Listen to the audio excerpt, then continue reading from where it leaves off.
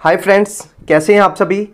मैं हूँ हरबीर सिंह, स्वागत करता हूँ आप सभी का आपके अपने स्टडी चैनल स्टडी 24 ऑफिशियल में।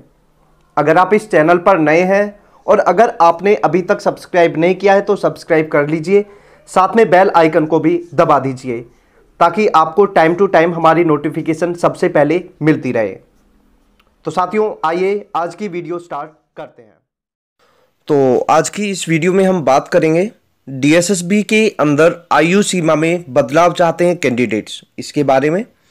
और इसके बाद कुछ ऐसी मैं आपको न्यूज़ बताऊँगा आज कि कुछ लोग मुझे पर्सनली टारगेट बना रहे हैं तो वो चीज़ भी मैं आपको दिखाऊँगा। इसके बाद कल एक क्वेश्चन दिया था कि ईयर के साथ ए एन में से क्या आएगा? मतलब आर्टिकल कौन सा आएगा? ईयर जो साल वाला होता है, उसके साथ क्या आएगा? तो मैं आपको बता देता हूँ।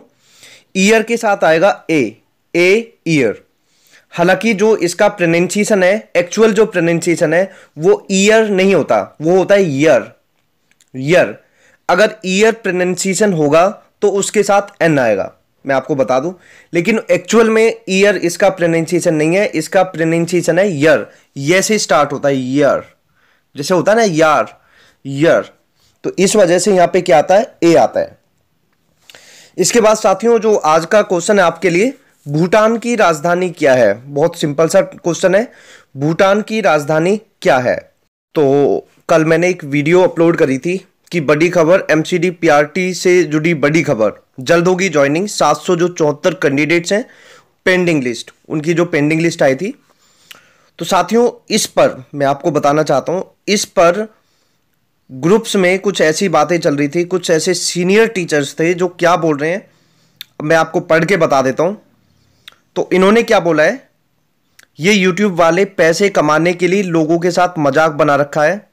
ये सिलेक्टेड के अगेंस्ट वीडियो डालने से डरते हैं, क्योंकि वो इनकी वीडियो को डिसलाइक करते हैं, जिससे इनके पैसे नहीं मिलते और यूट्यूब भी इनकी वीडियो को प्रमोट नहीं करता। एक बार सभी इस वीडियो को डिसलाइक करो बटन को सिलेक्ट करके। तो साथियों, ये मतलब बात चल रही थी ग्रुप में। तो मुझे किसी फ्रेंड ने ये स्क्रीन शॉट भेजा वहाँ से। तो बहुत दुख हुआ है देख के। क्योंकि मतलब ऐसे किसी को टारगेट बनाना बहुत गलत बात है। आप न्यूज़ देखो, पसंद आए, ठीक है, नहीं आए तो ना देखो।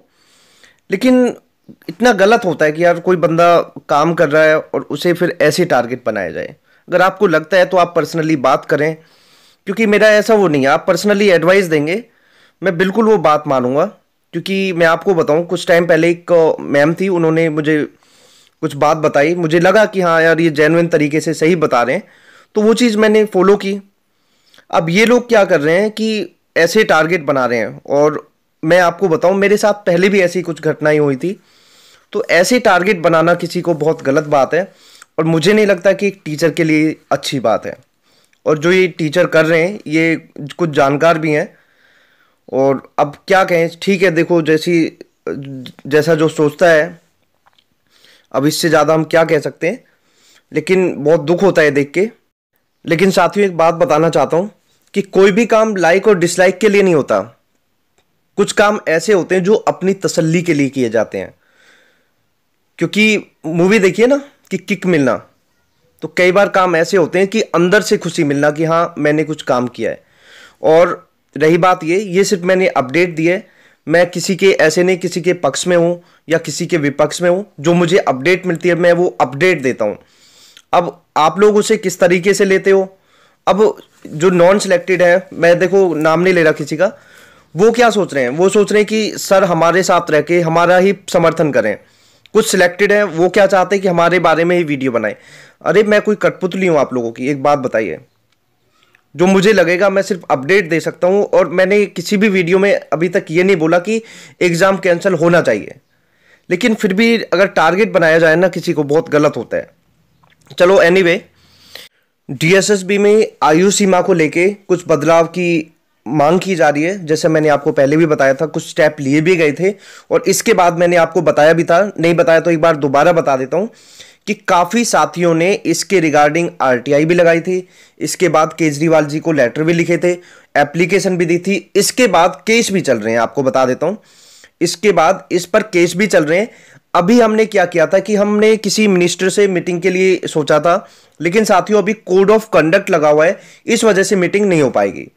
तो अभी हम क्या कर सकते हैं, जो अशोक अग्रवाल सर है, उनसे हम मीटिंग कर सकते हैं, और वो बहुत अच्छा हमारे लिए कुछ कर सकते हैं। तो जिन साथियों को लगता है कि आयु सीमा में बदलाव होना चाहिए, लेकिन पहले भी मैंने देखा दस कैंडिडेट्स वहाँ पे आए और जब मैंने पूछा कि आप लोग क्या मीटिंग के लिए चल सकते हो, लेकिन वहाँ से चलने वालों की संख्या कोई नहीं मिली मुझे। तो ऐसे नहीं हो सकता। तो अगर आप लोग रियली कुछ बदलाव चाहते हैं तो बदलाव के लिए आप लोगों को आगे आना पड़ेगा। अपने जो भी साथी हैं, उनको आगे लेके आना पड़ेगा और ये ऐसे नहीं एक दिन का काम है, ये काफ़ी दिन का काम है और इसमें आपको लगातार लगना पड़ेगा। तो साथियों, अगर आप बदलाव चाहते हैं तो डिस्क्रिप्शन बॉक्स में ग्रुप का लिंक है, आप वो ज्वाइन करें पहले तो। और इसके बाद, वहाँ पे मैं देखूँगा कि कोई एक बंदा जो लीड कर सके। तो आप लोग में से एक कोई ऐसा होगा जो लीड कर सके, फिर मैं आपको बता दूँगा। अशोक अग्रवाल जी से आप बात करें मीटिंग करें वहाँ जाके, अपनी बातें रखें।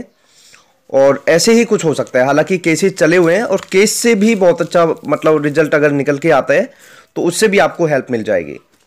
तो आप वो चीज़ें रखें, आप वहाँ मांगे रखें, क्योंकि घर बैठे आप लोग क्या सोचते कोई भी है, क्या सोचते हैं कि हमें घर से बाहर निकलना ना पड़े और कोई भी चीज़ हमारे लिए हो जाए। देखो, हर किसी के पास काम होता है, हर किसी के कुछ ना कुछ एक्सक्यूज बन सकते हैं। जेनुइन एक्सक्यूज भी बन सकते हैं, लेकिन उन एक्सक्यूज से काम नहीं चलेगा, क्योंकि ये लड़ाई आप लोगों की है। हम हेल्प कर सकते हैं इसमें। तो साथियों, आप अगर चाहते हैं रियली कुछ ऐसा हो, बदलाव हो, और हो सकता है, ऐसा नहीं है तो आप ज़रूर आगे आएँ और डिस्क्रिप्शन बॉक्स में ग्रुप का लिंक है, आप ज्वाइन करें। और अगर आपको लगता है कि कुछ मैं गलत बोलता हूँ तो आप पर्सनली बताएँ, क्योंकि ये चीज़ें बहुत गलत होती हैं कि आप शिक्षक होकर एक बंदे को टारगेट कर रहे हैं। मतलब कितनी गलत बात लगती है। मैं शब्दों में नहीं बता सकता कि कितना हर्ट होता है कि एक बंदा कोई चीज़ मेहनत कर रहा है और उस मेहनत पे ऐसे टारगेट किया जाए किसी को तो बहुत दुख होता है। तो ये चीज़ें मुझे नहीं लगती कि कहीं ना कहीं सही है। और आप लोग भी बताएँ कि क्या ये चीज़ें सही हैं। तो साथियों good bye take care thank you जय हिंद, वंदे मातरम।